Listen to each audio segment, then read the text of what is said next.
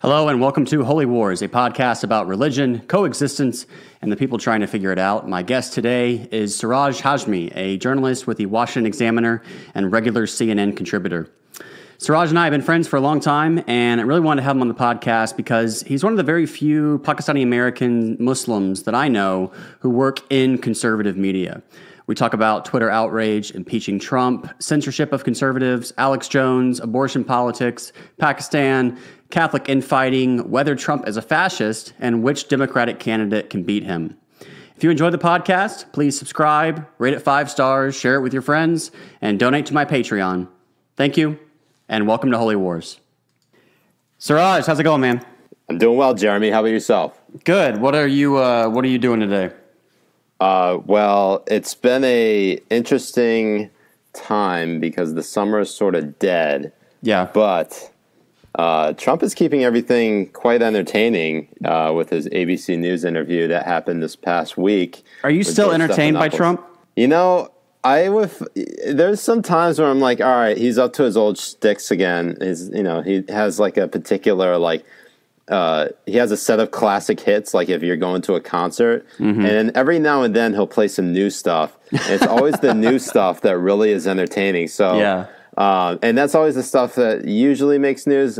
If I mean, I have uh, on Twitter um, the Trump tweet alert just ready to go. So mm-hmm. whenever I see something um, I usually disregard it almost immediately, but then when I see like it uh, constantly popping up on my timeline, uh, that's usually when I'm like, okay, this is something new. Let's see what's let's let's. If you let's have the alert on, you need to become one of those guys in his replies. now are you saying I need to be whatever? I need to be the next uh, Krassenstein brother, or yeah, because uh, if you go to any Jacob of Trump's Wolf. tweets, right, and, and you look in the replies, it's just the worst people who are I mean, uh, they're getting retweeted and getting faved and stuff because people think that I don't know. People think that Trump reads his replies or something, but it's just the most like autopilot, like normie kind of response that anyone can write, and right, and it's just yeah, and and so you need and and but all of the people doing it have like hundreds of thousands of followers because of it. Yeah, and that's the thing. It's it's the uh, I don't know what it's actually called, but I think there was like reply grifting or something like that. Mm, that's a good. That's a good. Some of these it. So these people, they sort of just build up their followings by solely responding to Trump tweets, and the Krassenstein brothers are a great example because they were, and many people were wondering if it if they were kind of putting up an act, mm-hmm. but they're like genuinely uh, posting and replying to Trump. Uh, That's crazy. Like genuinely outraged at what he tweets and. Oh, like they're they're actually emotionally invested in it. Yeah, and then I think in the last month they got banned from Twitter because they constantly that if, if I think it was discovered that they um, started up a bunch of fake accounts. Oh, that right. Went, that went against uh, Twitter policy. See, I just kind of assume that anyone who is on Twitter a lot. Anyone who's like heavily online, there's a certain way of speaking that is uh, where the currency is like how you are emotionally invested in the news. Mm-hmm. And so, like, a news thing will happen, and you'll be like, this has just got my blood boiling. And it's, it, it's all about their reaction. Right. It's, it's not like this is wrong. It's like it's like this has just cut me to the core.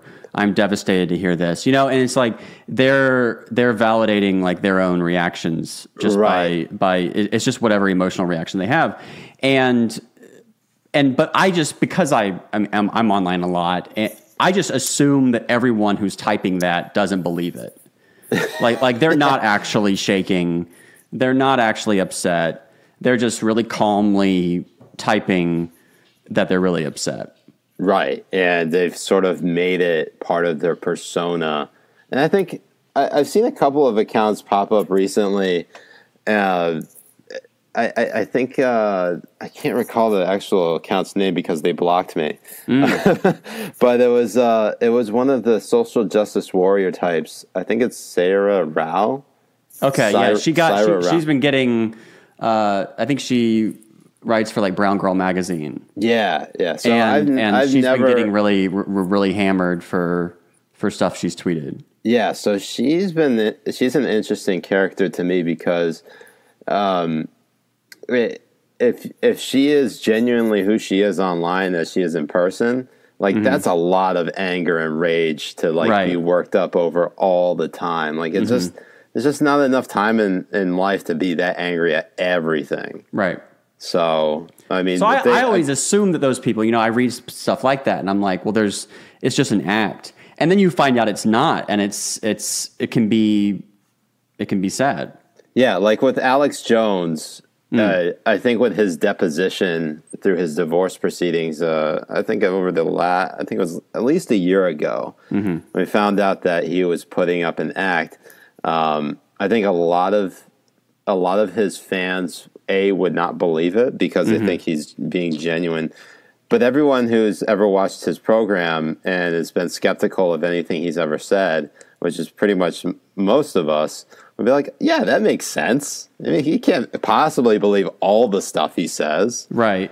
Like it's got to be at least, uh, it, it's, it's like an ironic thing where, where you are, and I I fall into this sometimes with like the Catholic stuff where you're saying things you believe, right? You're not lying, um, but you're saying it in a way that's like also a little bit ironic, um, and Like, Where- give me an example. What do you mean? where, where where you're just pushing things like you know towards that um like well for Alex Jones right? Like so he he really does I mean he he's not just an actor. He's he really does believe in these conspiracy theories.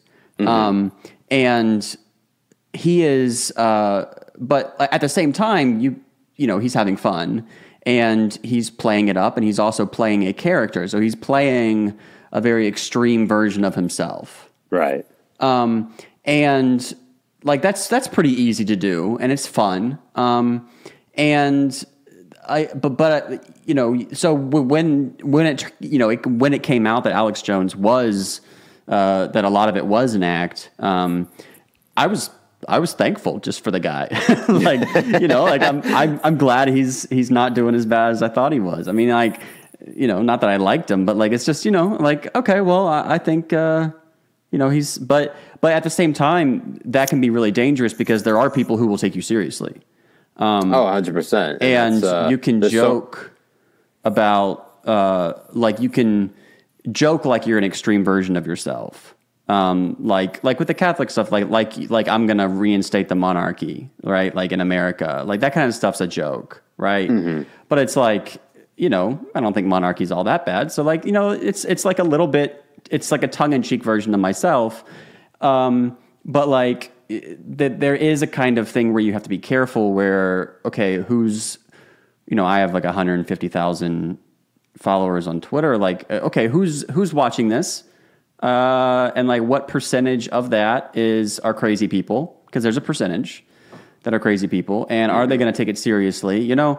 Like and you can't just this is something i'm not i go back and forth with this about whether uh, people with big followings are responsible for how their fans act you know right with like Milo Yiannopoulos. That sort yeah, of thing where him. like you know, after a while, I mean, it's it's one thing to like say something like, "Ah, I just ate at this restaurant and man, it was really bad," and then like the next day you wake up and you find out that like one of your fans blew it up. Like that's not you're not responsible for that, right?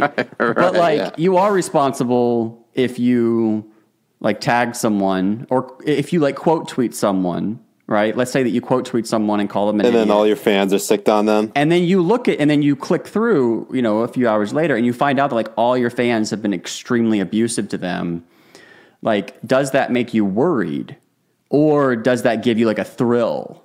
Like oh look what i can do now you know? Like i think i think that's like a, a real like test of character for that. Where like people like milo like they you know he got kicked off of twitter because he went after um uh leslie jones And Jones, yeah.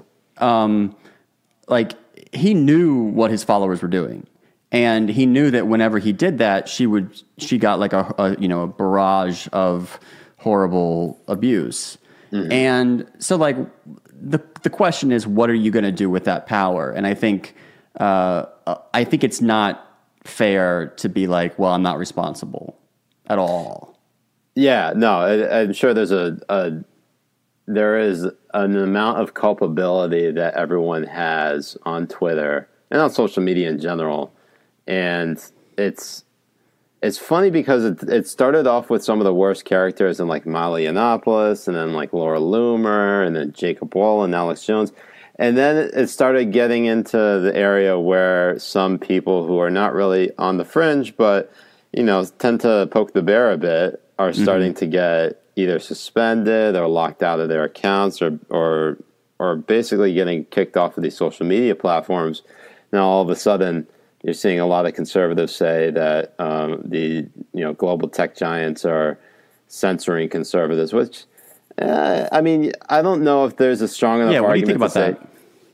Uh, you know, there's there's something to be said about um, certain parts of the debate that people go after. I think the one thing that uh, really conservatives are up in arms about is when they talk about um, trans rights and mm-hmm. when it and I am not really a. Um, I don't really feel strongly about uh, about the issue one way or the other. I'm more the just you know live and let live type of guy. And um, when mm-hmm. it comes to the debate about how uh, we shape our policy towards uh, transgender people, people on the conservative or on the fringe right are very much focused in ensuring that there are only two genders, which they want to make that hill to die on rather than just respecting the other individual's right to mm-hmm. exist.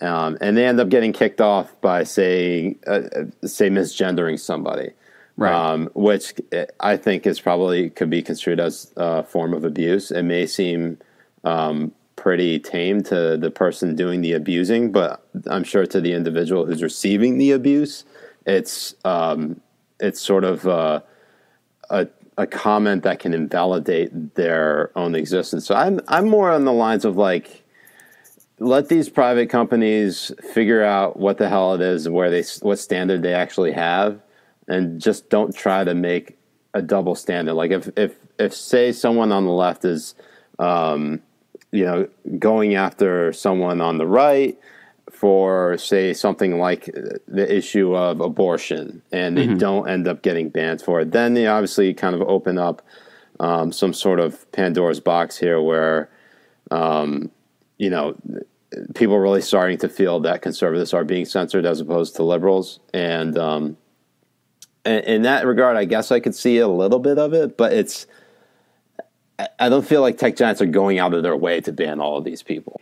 Yeah, it, it reminds me of someone, someone once said like the difference between Protestant and Catholic morality is that Protestants have a few rules that they follow very strictly, and Catholics have tons of rules that no one follows. um, and and I think that's that's like a helpful way of thinking about uh, like social media because there's all these like you know terms of conditions you right. know, ter- terms and conditions, which uh, you agree to do this stuff, and it's so broad that like you you you never really know if you're breaking the rule or not, and like is it harassment to argue with someone? Um, is it harassment to argue like to criticize a public figure? Mm-hmm. Um, and is that is it incitement to violence to say that someone's uh, wrong about something? And you know how how far does that go? Um, and the, these social you know social tech companies they have these you know standards that are so broad that then that allows them just to like kick people out they don't like. Um, and yeah. so they kick people off the platforms basically just whenever they cause too much trouble that's really what the rule is. Yeah. It's like don't cause and, and, too much trouble on Twitter. Yeah, and they've gotten on some accounts for say using music that wasn't licensed to them and you know mm-hmm. th- those things are like fair, but uh, I think it's the policing of certain individuals who it's it's sort of like setting up the the cops in the conservative neighborhood waiting for them to just slip up and then like basically sending the SWAT team in on them mm. uh, as opposed to like wherever liberal camp you want to you want to focus on. Uh, well, it's, it's sort mean, of like the, I mean, it, yeah, go ahead. I was just going to say, I mean, you're being Catholic. You're obviously pro-life. I mean, the, mm-hmm. the, but you're also politically more liberal than I am. You would probably get a lot of heat if you talked about uh, the issue of abortion a lot, and mm-hmm. I, I, don't think you really do. Well, I talk about it some, um, but I think that I, I, don't. I don't beef with people right. about that. I, don't know what good that would do. I mean, maybe it would. I don't know. Well, like, and I think you recognize that if people's minds aren't going to get changed on twitter.com or any social media platform through a twitter argument right i, I don't know I, I, think i think people uh, shortchange social media sometimes when i mean because no one's going to admit that their mind really changed because mm-hmm. of a social media argument no one's going to say like well how did you do this well people memed me into you know doing this uh, you know I, while i that'd was, be wild right um, but I think it, it, but but I think it does happen, and I think it's just embarrassing to admit that it's happened. Um, I think that uh, I mean I I learn tons of stuff on social media every day um, from the people that I interact with. I have my uh, people you know who are nice about it, and I, I, I have my I have my mind changed about that.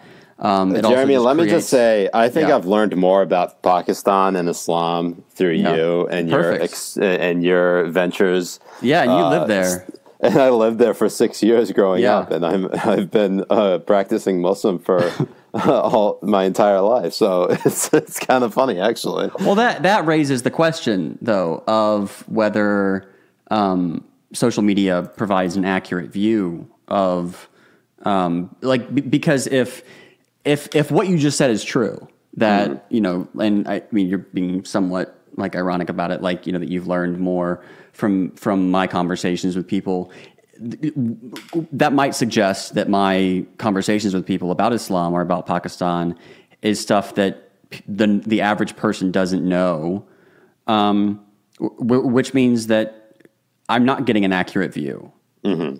of of reality, right? So, like you know, your understanding of like the Catholic debates um, there is a Catholic debate going on right now about politics and about, you know, between people at the National Review and people about first things, about uh, government and liberalism and stuff. And it's a very interesting conversation, and I think it's really fascinating. Um, I guarantee you, literally no one at Mass yesterday knows about that debate going on. And that's what's fun. I, I think I've said this so much in the last couple of months is that Twitter and social media in general – it's just not real life. Like it's it's it's, it's not real life, but it can like it can be a microcosm for what's right. happening. It, it, the, it, can be a microcosm, but even even more than that, it can be the vanguard. It can be the people who are um, like in in good ways and bad ways. So so like the people who write for National Review and write for you know first things, they're having this like high high level discussion. Well, that'll that'll trickle down to articles and um, you know people speaking at colleges and you know what professors at colleges are reading and and talking about, and uh, and and the same is true of of radicals, of people who are um, you know radicalized online, which happens all the time. Where right. on if you if you go on Twitter and you get into uh, a debate about a topic, like you're going to encounter the most extreme people on that. Because it takes yeah. like I mean, let's you know just take abortion. Like it takes you know, it's it's not just that someone's pro life; is that they're the kind of pro life person who starts a pro life uh, Twitter account, for example, mm-hmm. and uh, tweets about it for several hours a day. That takes a certain type of person who's like particularly committed to that issue on either side, and so when you see that, like you're like, this is not a good representation of what America is like Right. Um, but it, it, it, but it it does have an effect. Like is you know someone who gets radicalized online, they don't just stay online. They can go to a mosque in New Zealand and kill a bunch of people. Um, right. They can bully people into, uh, you know, uh, into starting you know uh, movements that then shape um, America because like it, it just takes like 10% of, of the population who are, are like super committed to one thing to convince everybody else because most people just go along. Oh yeah, most people really do not care about the realm of politics. I mean, I think think of the the people. Think of how smart the average person is, and then remember that like half the population is dumber than that. Yeah, right. and, and, like you just have to, or like, just they're like well, like they're doing other things. Yeah, I'm like pretty if much Trump, everything. like if Trump really did um, become uh, like a full fledged fascist, um, mm-hmm. I wonder about this. Like, would most of the people in America notice?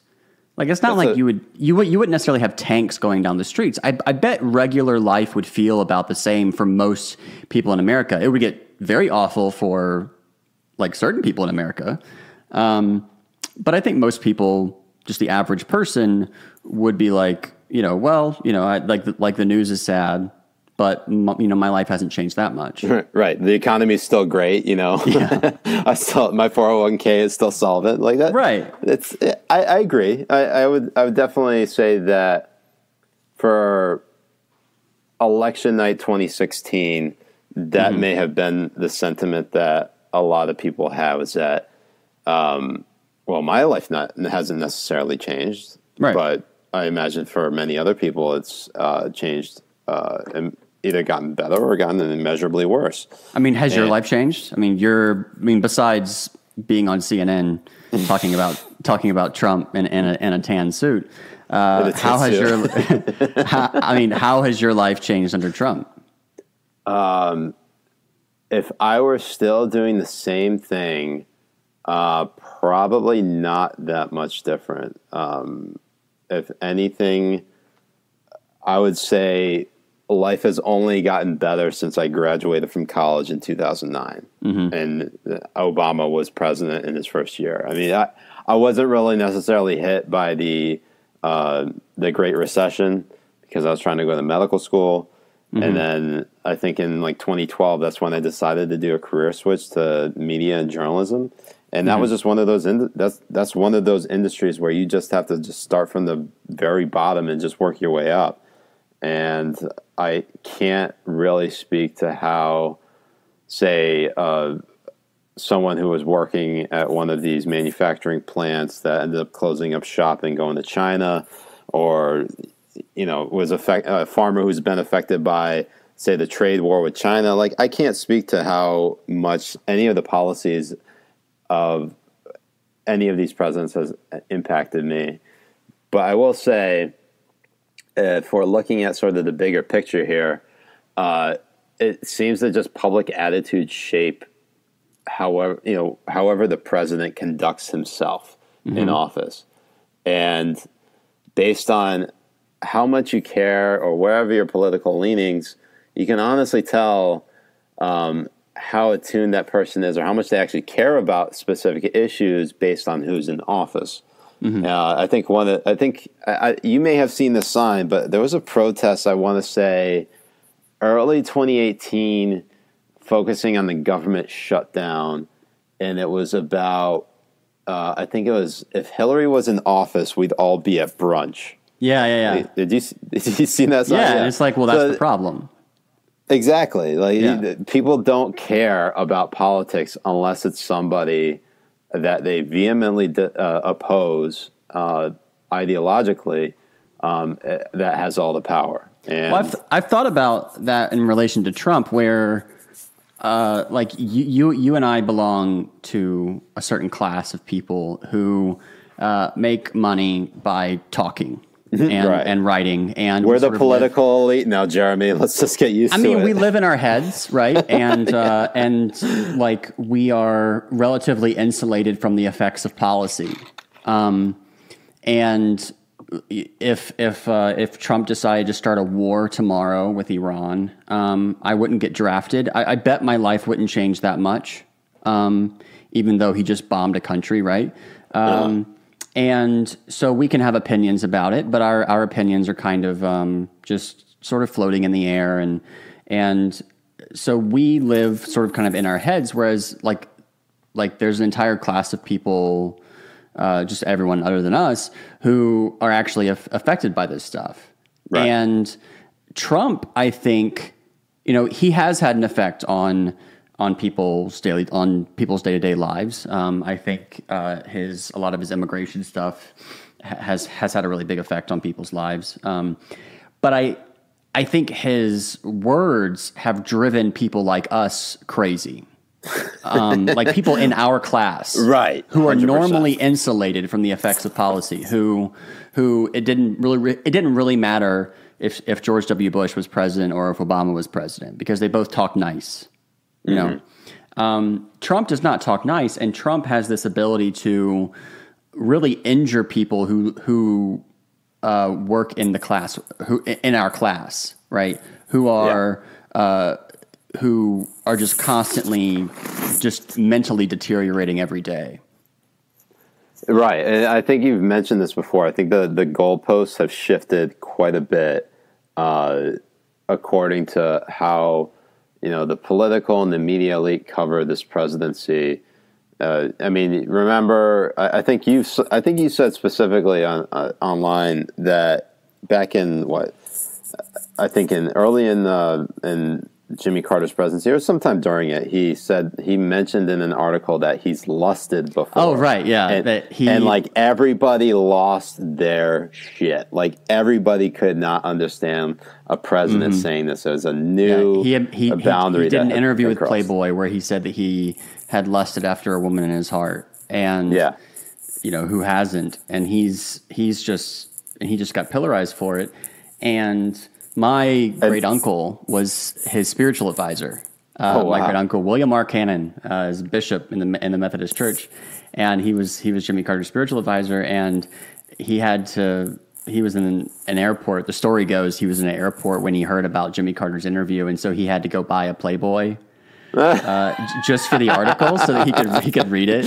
And you know, he's got his collar on and everything. And so that's that that's the story anyway. I don't know if that's actually true, but that's, That's the so sort of family legend of R. Cannon. I actually have a I actually have a buddy who uh, is a cor- like a Washington correspondent for Playboy, and so I think he he he had his first um, published article uh, that came out in this quarterly issue, Mm-hmm. and I think he just he got a uh, a video of his dad reading Playboy, saying like he's actually reading it for the articles. oh, that's hilarious. Yeah. Uh, but yeah, I mean, so when we talk about like Trump, it's just such a new age that people just they can't. Some people are still trying to adjust to him because they cannot fathom a president behaving the way he is. While uh, many of us who have observed Trump throughout the course of his career is like this is completely on brand for him. Like this is not like he's not going to change just because he's the president. I mean, he's he was the oldest elect eldest elected president in the history of our country. I think it was like seventy and like uh, a few dozen days when he was actually sworn into office, beating out Ronald Reagan. Like people don't change at seventy. No, no. Yeah. well, who, cha- who who does that? Who's Yeah. And people barely change at 30. Like, uh, usually, what is this? What's the common saying? Like, usually you're the person who you are at 30 for the rest of your life. Like, that's who, that's the type of person you're going to be.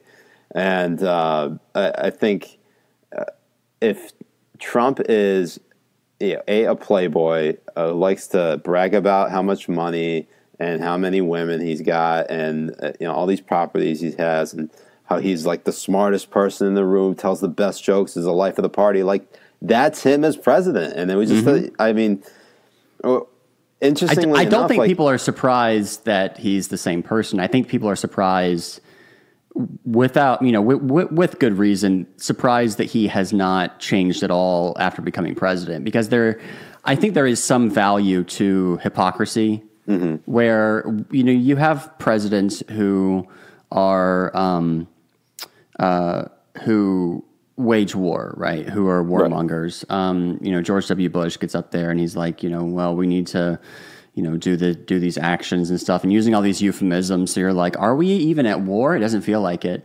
And Yeah. like Trump's like up there, like we're gonna blow the hell out of them. And it's gonna be awesome. It's gonna be tons of blood. It's great, right? Like, I mean, he didn't say that, but like, that's that's the kind of like thing you get where he's he's just literally saying, and he's proud of it, and you're like, okay, but like the ruler of a country does have an effect on uh, on people and on how you view war and how you view virtue and stuff. And and, and ideally you know you would have a president who's virtuous but uh, if you can't have that you at least want one that pretends to be.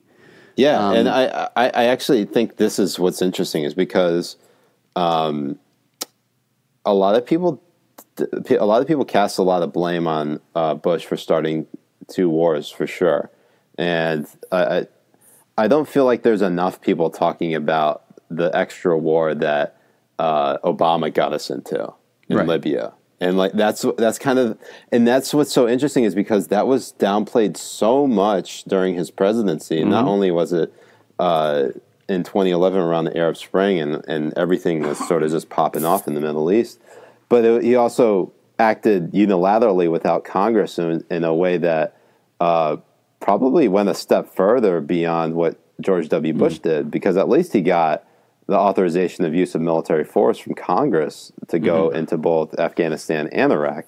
Right. Uh, with Obama, it was just he just sent troops there and you know said Congress be damned, and we're just going to go ahead and do it. And I have yeah, no idea. I have no idea what's happening in Libya now, but it's one of those things where like. Uh, he's not dinged uh, nearly enough as Bush is for Iraq and Afghanistan. I mean, it's it's it certainly had a big impact on the refugee crisis. Um, oh yeah, absolutely. Where you know getting once once Gaddafi fell and Libya became somewhat of a failed state, uh, you know the the amount of refugees that flooded into, um, and then also Obama's messing up with Assad and everything like that. Mm-hmm.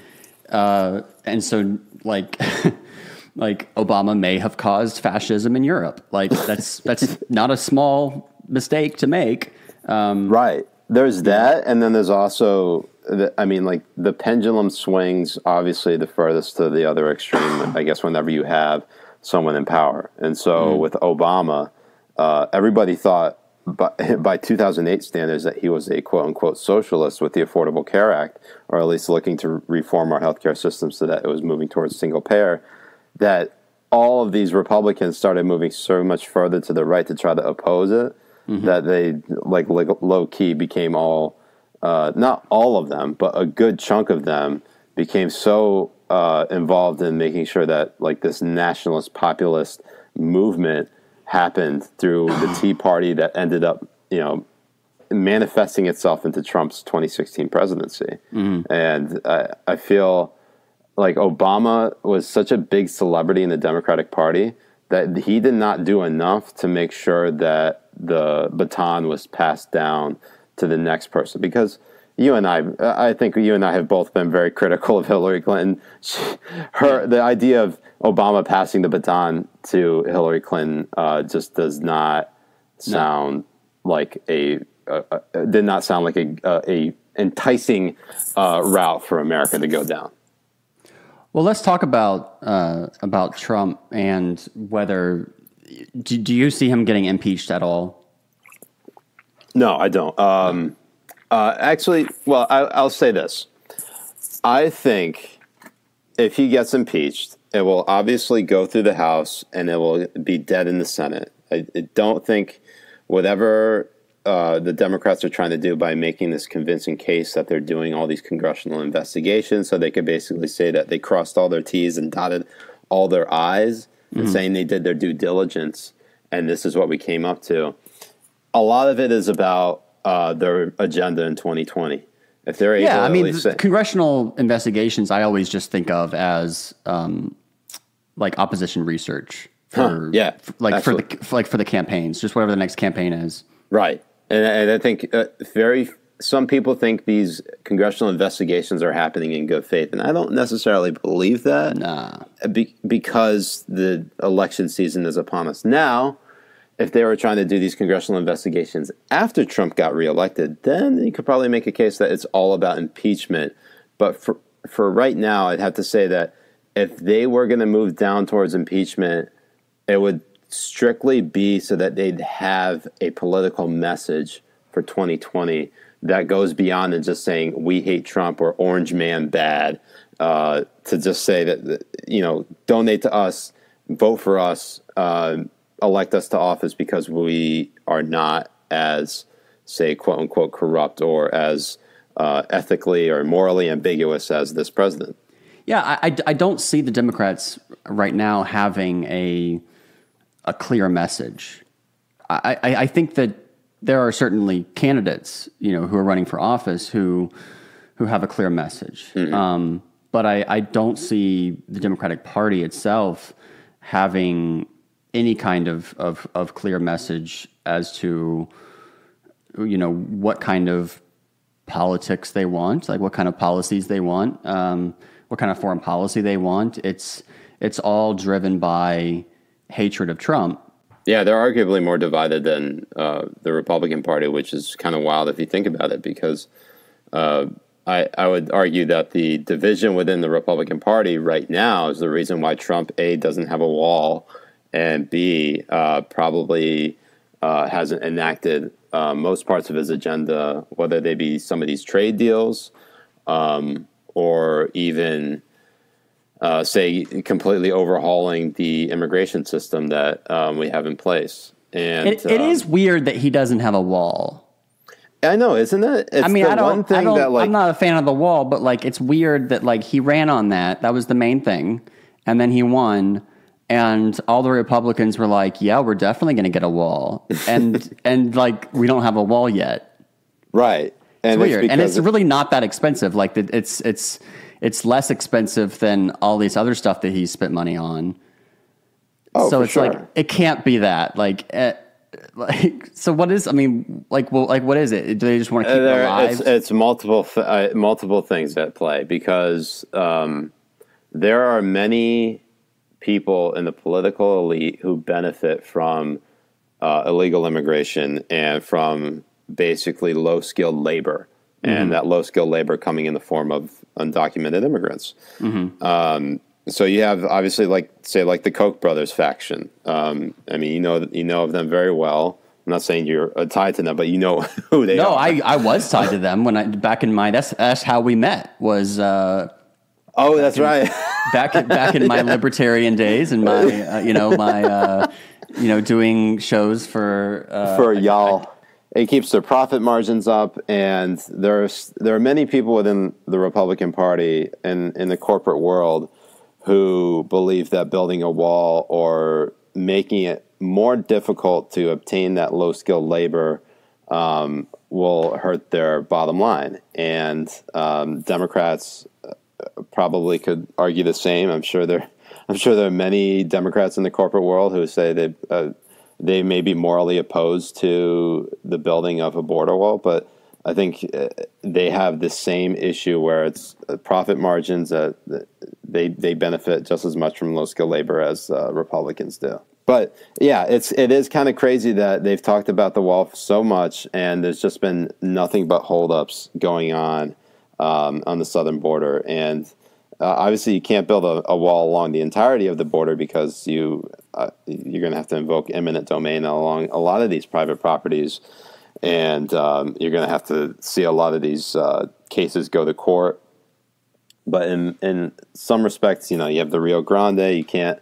So they they're just putting putting boats on the Rio Grande to to police them. You're not gonna. Yeah, I guess the, gonna, the idea of the wall is you know when you imagine the wall it's very clean and like very simple and and and and that's probably preferable to the reality which is that if they did build the wall every step of the building of it would be fraught with controversy and there would be constant news stories about this particular you know section of it did this mm-hmm. to this and uh, like this lawsuit went you know went here and this person got stopped and it's like okay like it, I I can see why Trump even though I'm sure he does want the wall, it's it's almost more useful as a thing to just have. It it, it, it almost reminds me of of abortion, where the mm-hmm. Republican Party says they, uh, at least nationally, say they want to ban abortion, and um, okay, well they haven't, uh, yeah, and they've had you know control for quite a while.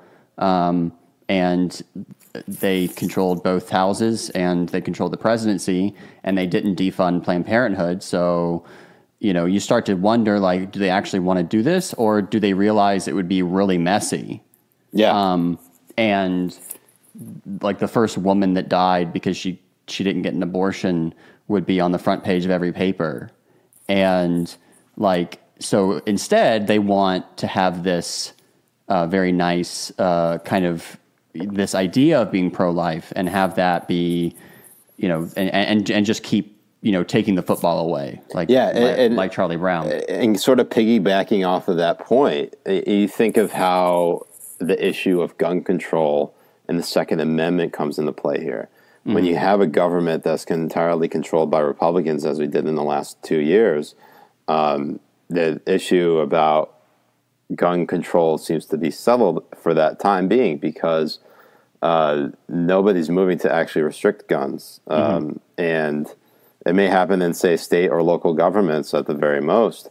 But what you're seeing is that f- and the fundraising for like the National Rifle Association, like the one of the biggest gun lobbies in the United States, uh, that plummeted, and they had to they had to cut a number of people from say their NRA TV outlet Interesting. um, and uh, uh, gun sales went down. I mean, if you were talking about the best person that was ever uh, the best president for gun sales was Obama because he That's constantly talked about guns about restricting guns, the sale of guns, and um, every single time he mentioned something like that after say a school shooting or a shooting of uh, you know any particular public or Mm-hmm. you know establishment uh, gun sales would then go up. It's it's because people constantly think that he's going to the the next day get legislation passed or issue an executive order banning the sale of uh, a particular weapon. So um, Trump's that might actually help done. explain something I was talking with a friend of mine about uh, a few days ago, which is that like I, I always say like the like the ACLU has had like a lot of mission creep Mm-hmm. where like they seem to be focused just on like civil liberties and uh, and and that was like their main thing. Mm-hmm. and then as time went on, they sort of branched out and are now just like a proxy for the for the Democratic Party. right. Um, and I was I was talking about the NRA, where the NRA uh, was like, okay, it's a gun lobby, right? It's a gun lobby, and then like the NRA TV was like these snowflakes at these college universities, and you're like, does this have anything to do with guns? Why is this? What what's going on here? But that helps explain it because if the NRA doesn't need to exist uh, as much under Republican administrations, then it's it has to find some other thing to, you know, get people donate here and we'll stick it to the liberals. I, I think that one of the best cases uh, that that kind of just focuses on just pure unadulterated red meat anger is watching Sean Hannity on Fox News. Now, I don't know if you watch him, I don't. um, but I do from time to time um, because of uh, my fiance and and she's interested. Her family's obviously interested in what he has to say. explain your explain your. I mean, nobody listening, you know, like. Uh, What do you want me to explain? well, your your your fiance, she's Republican. Yeah, so she's she never says she's a Republican. She Okay. says she's more of like a constitutionalist. Constitutionalist. Yeah, which is another way of saying yeah. uh, sort of a, an originalist.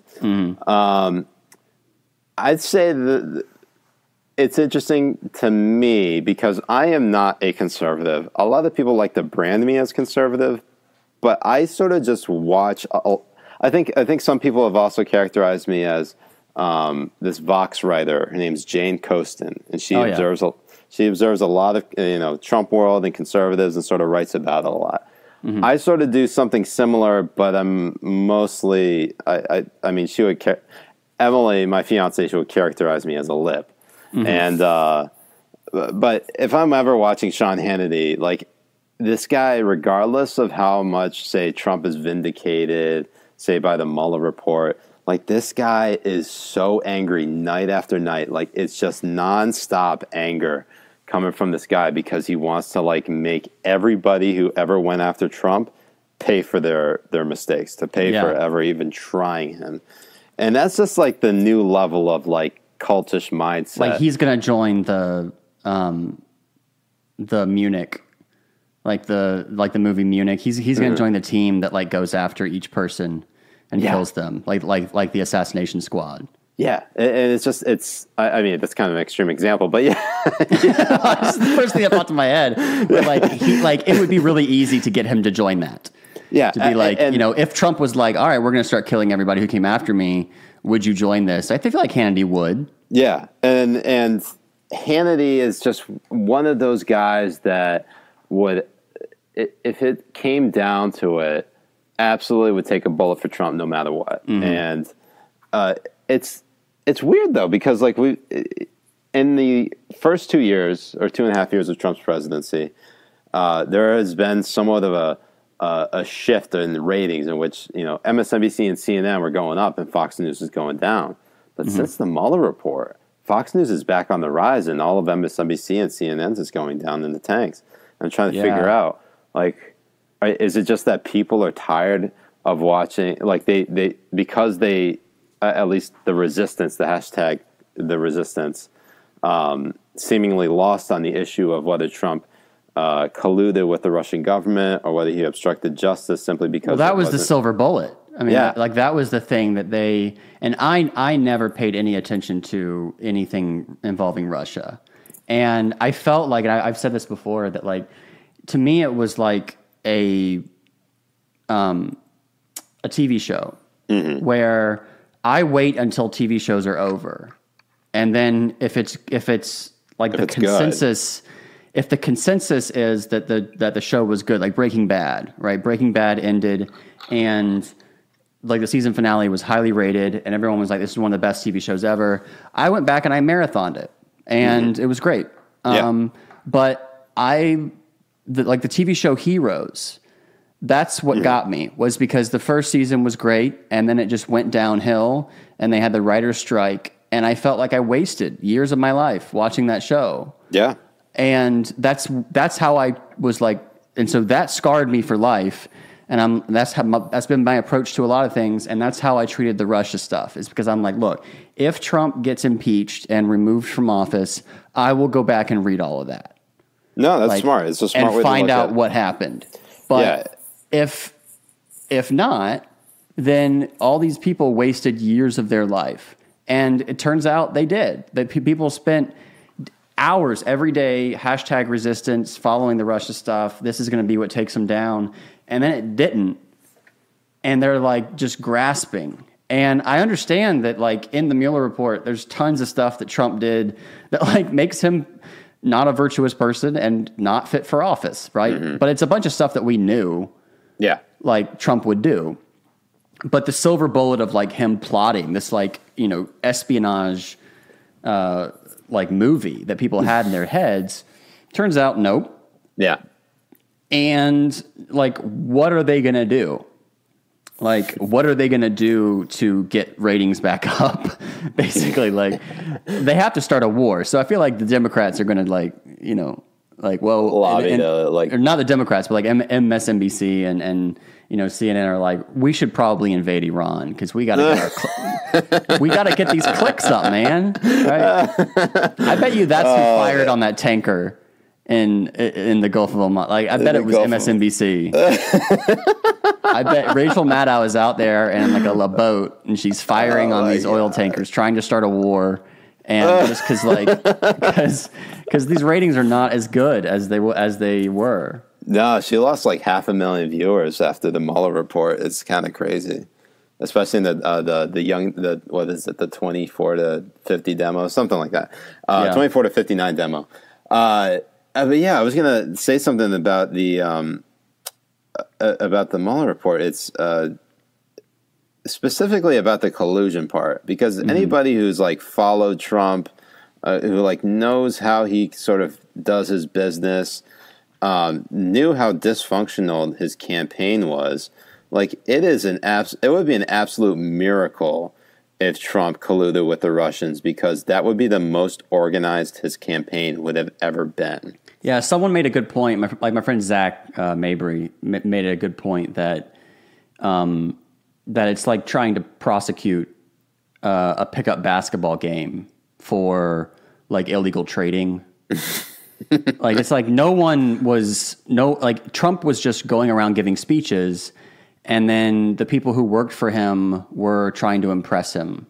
Yeah, hundred percent. It's it, it's like It, it actually reminds me of uh, there's a there's a debate within Holocaust studies about um, how involved Hitler was uh, in each of the each of the decisions that led to the Holocaust, and uh, there's so there's like one side is like he it was all the people under him. He didn't really know much, and uh, they just did all that stuff. And the other side is like, well, he know he gave the order and he planned it all.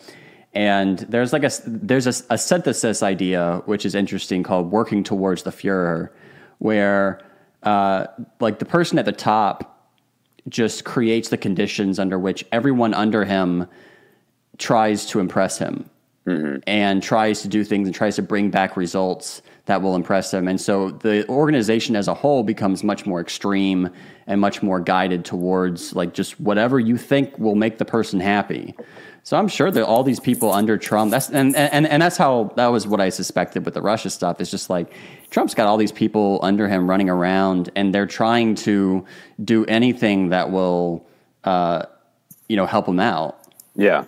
And yeah, I mean, they're they're not they're not checking with lawyers to make sure it's legal. They're just you know doing stuff. Yeah, and I don't know if you I don't know if you watched a whole lot of uh, some of these or read up on some of the stuff about Hitler, but uh, with respect to how people in Germany viewed him, he was almost basically a god. I mean, it, mm-hmm. it was it, it was actually he had to keep Eva Braun, his girlfriend, in secret because uh, the idea of him casting favor on any particular woman would have basically devastated like half the population because of, oh wow yeah yeah and so it's it, obviously it's very different for Trump because that's he, like a that's like these uh, these these musicians who they have like girlfriend you know they're like heartthrob musicians mm-hmm. and and they have girlfriends but they can't tell anyone because like if they did then it would be they would uh like the people, every, everyone who has crushes on them would like, like would get angry. Oh, for sure, yeah, and it's it's a weird marketing. Uh, I mean, it's a weird way for people to think that they, you know, someone they have no connection, personal connection, no relationship with, will get angry at somebody potentially wanting to pursue happiness via, you know, being with uh, a, a partner. Um, and so it, it's a little. I mean, I know different. when you announced that you had gotten engaged. I know there were just millions of women all around the United States who were just so. And so don't forget upset. the gay men. Don't forget and the, gay, gay men. men. who were just very upset that uh, that you were now off limits, and oh, your I think your uh, your numbers suffered. I was I was watching your your follower count and it went down. yeah. Uh, well, I guess I, I, guess I should use this platform as an uh, as a uh, an opportunity to apologize to all of those star-crossed lovers who. It's funny when when I uh, announced that like my wife was pregnant with Jewel mm-hmm. um, the first time, uh, my follower count went down.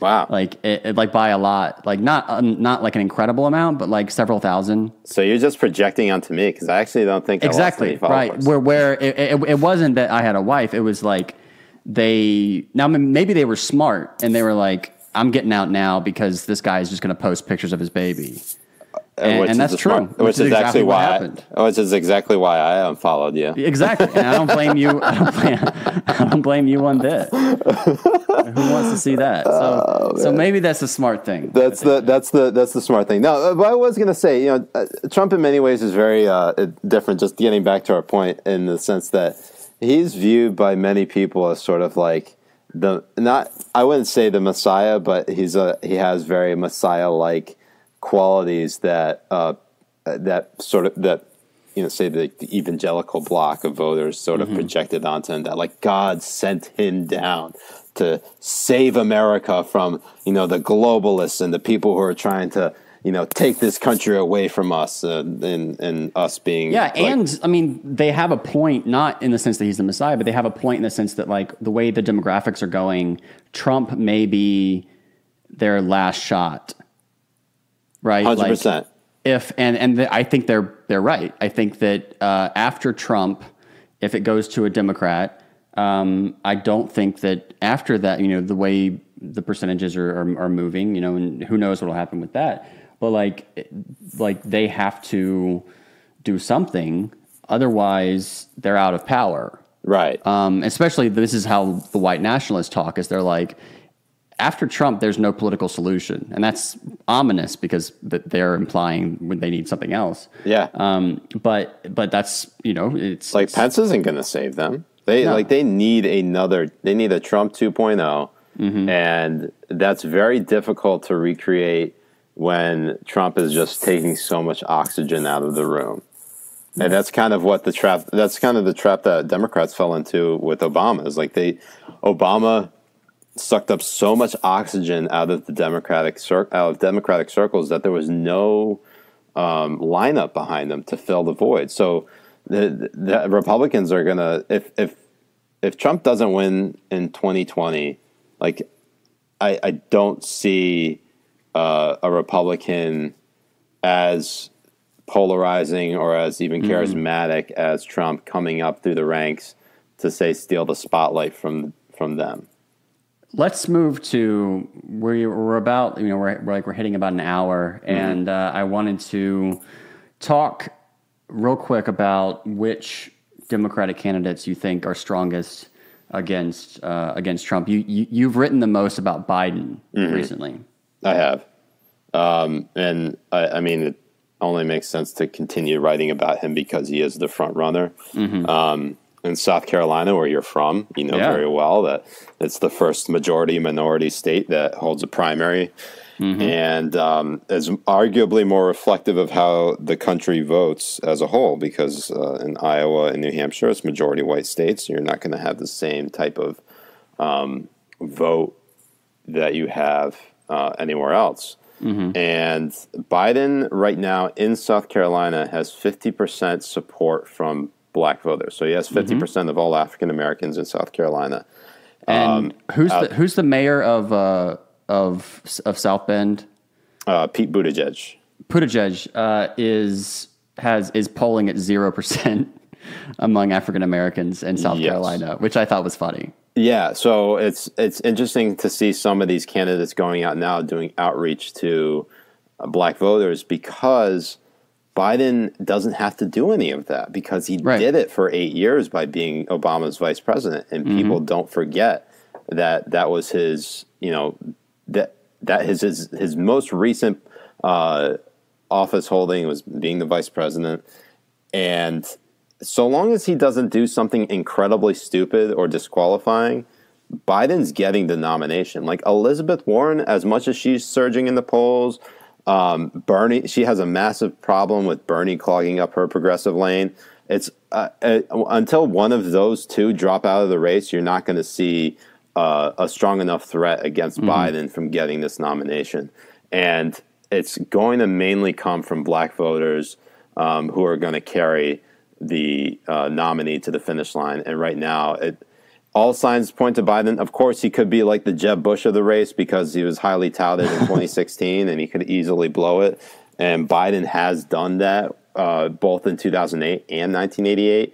But the key difference here is that he now has a majority support of black voters, and that's going to be the difference. And um, uh, Biden arguably is the strongest to run against Trump. Um, while he is not, um, he certainly has his baggage. It's not like Hillary Clinton level baggage, but it is certainly baggage.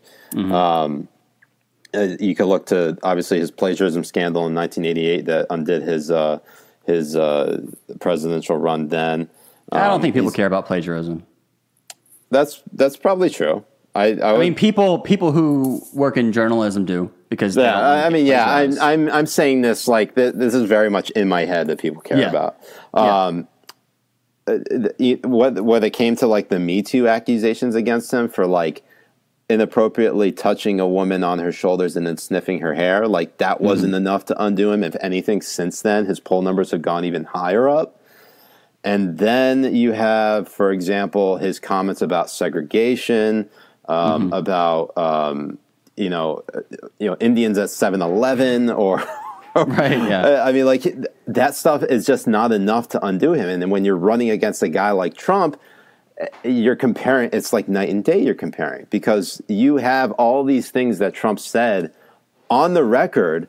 You have him in an Access Hollywood tape bragging about grabbing women by the pussy, and you're trying to bring Biden down for sniffing a woman's hair like that. To some voters, that just doesn't make sense. Right. So, so do you think Biden has a good shot? Uh, I think at- he has a great shot. Trump. I think he has a great shot. Um, I would probably put it at 60-40 right now. The only reason I would In say favor of Biden? in favor of Biden. Wow. The only reason I say that right now, um, that it's not higher, is because the economy is still doing pretty well, and we're not involved in another war. And I would still put my doubts at forty percent because, um, the, like the polls that we're seeing right now, I feel like people are sort of regressing into that area where. Um, in 2016, everybody sort of bought into the polling that showed Hillary Clinton winning. Um, and they never expected Trump to win. Like there were people that just said Trump will never be president. You heard it from Obama, you heard it to Rosie O'Donnell, you heard it. You know, everybody was basically saying Trump's not going to be president. And then, Right. but Hillary Clinton was so unlikable in 2016. You could put up anybody else against Trump, and they would have beaten him. Like that, people wake up in the morning hating Hillary Clinton or the Clintons in general because of you know whatever Bill Clinton did, whatever Hillary did, did as Secretary of State or as Senator from New York or as First Lady, and the whole Whitewater Monica Lewinsky thing, and um, basically Trump was in many ways the uh, while he was not the perfect candidate to run in from the Republican Party standpoint, um, a lot of these never Trumpers ended up voting for him anyways because they could not stomach seeing Hillary as president. It's it's like that Douglas Adams uh, bit in um, Hitchhiker's Guide to the Galaxy about two lizards running for president, and like they're basically both the same, but Right. they'll always vote for their lizard because they don't want the other lizard to win. Right. Now let's uh, let's finish off by talking about um, Muslims and politics. Oh, Um, great. Pro or con? No, I'm just kidding. Um, what, what now? The last election, like Islam was was a very big in the political discussion, but it was it was only as like a an object of discussion where Muslims were being talked about, and it was mostly through Trump and his Islamophobia. Um, this time around, Muslims are being talked about and talked by these Muslims who are in office and who are who the Republican Party is seems to be focusing on for in, in order to divide the like the Democratic Party. Obviously, we're talking about you know Ilhan Omar, Rashid mm-hmm. Tlaib, and what, what's your sense of how how Muslims are going to be you know engaged in politics in the election, and also about how Islam is going to be spoken of uh, you know in the in the election.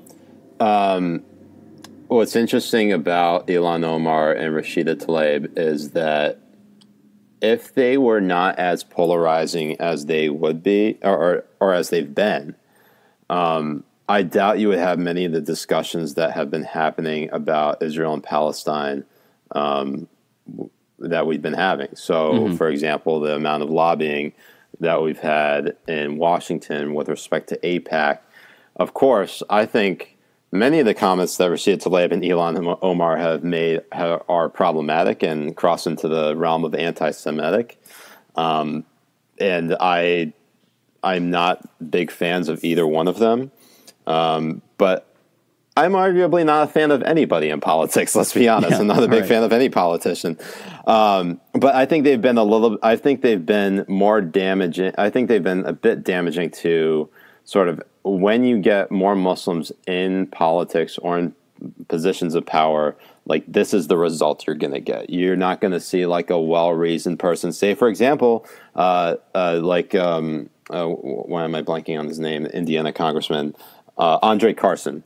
Andre Carson, who is a Muslim convert, has not made a single peep or controversial statement about anything. Um, uh, many people aren't talking about him because he's not saying a whole lot about these issues. If anything, he's sort of uh, towed the Democratic Party line and just gone, you know, charted his own path. Yeah, it's it's almost like Muslims aren't allowed to just be like regular dudes. Yeah, Like, it's it's you know- isn't that weird? Like I I mean, it, I've almost had to play up how Muslim I am because I seem Right, like you such got to a make jokes about dude. Sharia law and stuff. Yeah, like I joke about that all the time, and like Emily's like, you, you got to stop joking about that. Like, and people people find it funny. So long as people find it funny, I, I want to continue joking about it. Yeah. Um, I don't think it. I, I think the reason why I continue to talk about Sharia law is because I want to get it to the point where it's defanged so much mm-hmm. that people aren't just so scared to just talk about it, regardless of like uh, if they want to like say compare policies to what would happen say in a country that's governed by Sharia law versus governed by the United States Constitution. Like you you would see that maybe it's. I, I'm not saying that the United States should adopt Sharia law at all.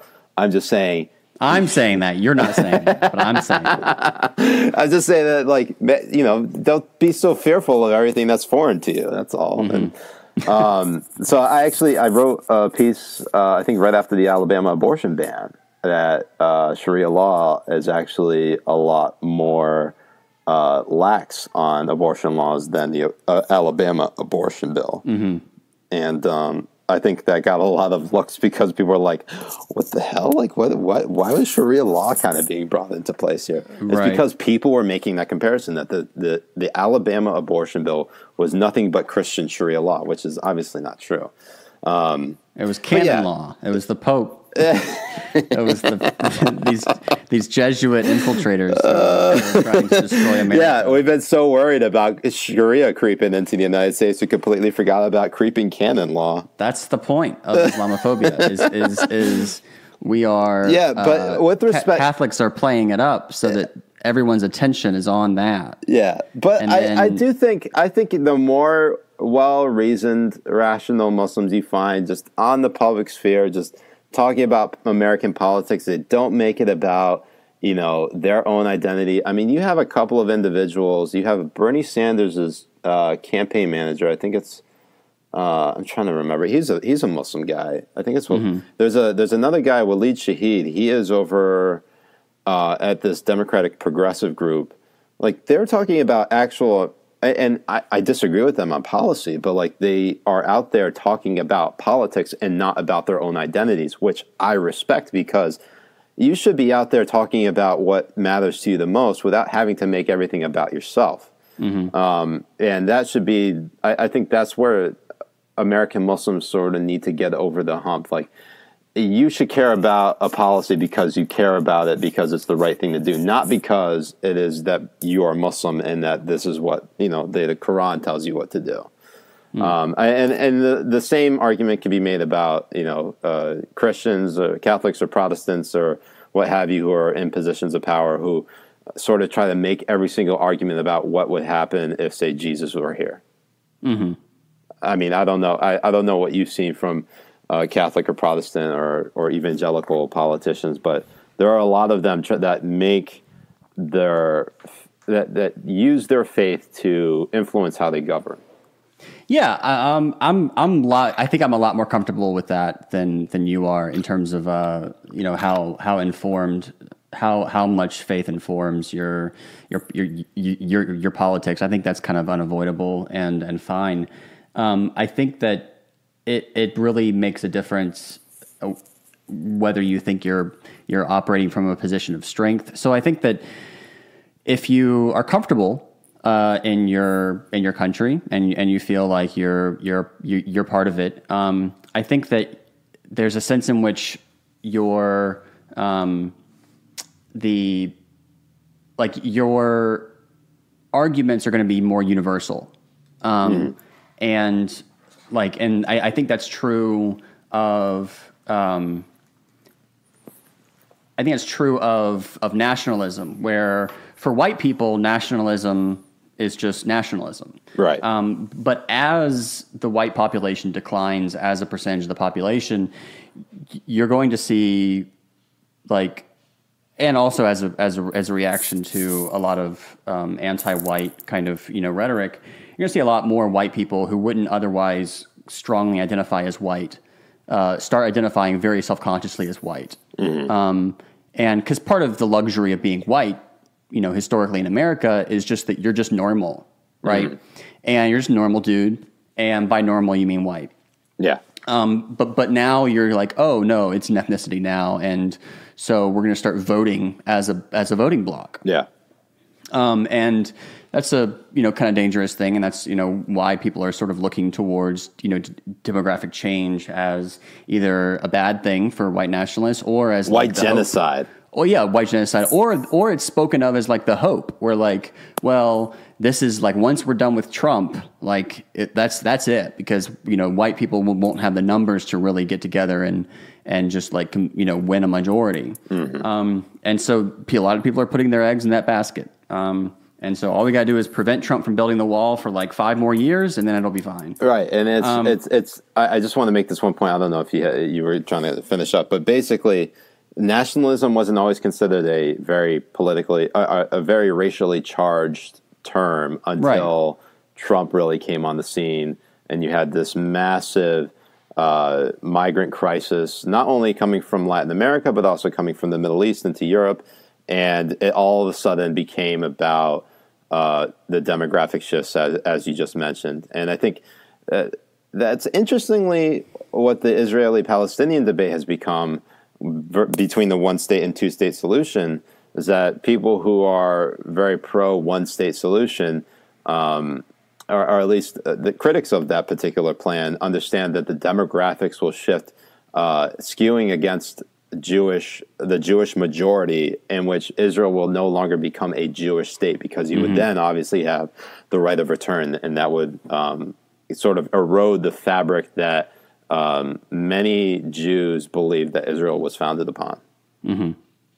Yeah, like w- when I talk about demographic change changing how people think about politics, I'm thinking about you know particularly how Catholics view politics right now you know, Catholicism, at least practicing Catholics, like people who are practicing Catholics are, are a, a lesser and lesser percentage of the population. Mm-hmm. Um, and so that means that the ones who stay behind or the ones who convert, um, you know, converts are usually the more extreme people in any religion. Right. Um, and they are like be, because they're the minority, they now feel way more comfortable using kind of sectarian language um, where they are self consciously identifying as Catholic people and mm. Catholic. Whereas, you know, in countries that are majority Catholic, they might just be making arguments based on reason. Yeah. Um, and that, that anyone can, you know, ap- ap- apply to. So I see that happening where Catholicism, because it's declining, um, it's which means that the sort of people who might be lukewarm, you know, just regular people are dropping out. The ones who are left are going to be much more, you know, devout, uh, much more serious, much more intellectual, and are going to be seeking a specifically Catholic way of doing politics. And that's why I think a lot of the debate right now between like the National Review and First Things um, is is about is is like that uh, well, we've been losing. right? Yeah. We, like we've been just crushed uh, as social conservatives, as as Christians, and what we've been doing has not been working. So uh, why not just argue for monarchy? You know, like like, and I'm like, okay, well, that's fine, uh, but. I, I, like it's just it's it's clearly just a result of that change in dynamics um, yeah. and and change in demographics. And so, as Muslims uh, increase in the United States um, and turn all the churches into mosques, but like as, as, that as that happens, uh, I think you'll see. I mean, especially if Biden takes office and things become people start behaving more reasonably, perhaps towards Muslims. I think you'll see like Muslim identity politics, like possibly decline. Um, and it won't be such a self-referential or, or uh, like a self-defense kind of like, well, Trump is being Islamophobic, so we have to rally and you know respond to him and yeah. and, be, and become kind of the mirror image of him. Yeah. It, it, so you might see if Biden takes office, you you know you might see Muslim Republicans take office. Um, yeah, and you know, I think pe- people being a lot more a, lot more more comfortable just being regular guys. And that's you know what's interesting is that and before 9-11 there was a significantly higher percentage of muslim americans who were republican. Mm-hmm. and as soon as you know the patriot act came into existence under bush and uh, the iraq war that really turned them off to being republicans. And i think I, I, even saw people like my parents who voted for bush in 2000 switch over to kerry in 2004 because of everything that happened in those four years. Um, and not saying obviously that um, they agree they obviously they don't support what happened on 9-11 but to be the or the states well i switched. I switched uh, i mean i switched from 2000 and you know i was supported i mean i was 15 but i you know my family supported bush in 2000 yeah. And then i supported uh kerry in Kerry in, in yeah and, and that was like just but, the, but, that was because i did support 9-11 yeah so I, but it was no but it was the state i mean there was the state's reaction to muslim americans. There was just this wide uh, sweeping of targeting of them, and everybody became a suspect. Mm-hmm. And um, I think you'll probably get to the the point where once those those identity politics sort of wither wither away under a president who is not um, perceived to have gone after that particular group, um, I think you'll probably find that more Republicans will be like, uh, you will find people who oppose uh, whatever Democratic president comes next, because of an issue that they were supposed to undo, mm. uh, they never fulfilled that promise. And I think you saw plenty of Muslim critics of the Obama presidency simply because of his drone war, the Libya war, um, mm-hmm. and that's only if they had their eyes open. I mean, the, the thing is, people oftentimes get apathetic when the people that they like are in power. And, right. and, and we just mentioned it earlier in the podcast. Yeah, we, we spend, you know, it's brunch. Yeah, it's brunch. If Hillary was in power, we'd all be at brunch right now. And that's, that is the problem, the fundamental well, problem. Well, Siraj, thank you so much for coming on uh, for an hour and 17 minutes. I am going, uh, after I get off uh, with you, I'm going to therapy for an hour. and the, the difference is I have to pay the therapist, and I should I should I should have paid you for this, but oh, uh, thank you, Jeremy. I really but, appreciate but, it. But thank you, th- thank you very much for coming on. Give my best and, to uh, Stephanie and Julie. I will, I will, man. And uh, yeah, thanks so much, and uh, yeah, good luck with everything. Thanks, buddy. You too. I'll talk to you soon. Yep. See ya. That concludes another episode of Holy Wars. Thank you so much for listening, and don't forget to subscribe, share it on social media rate it five stars on iTunes, and donate to the Patreon. Every little bit helps keep this project moving forward. Until next time, I'm Jeremy McLellan. Thank you for listening.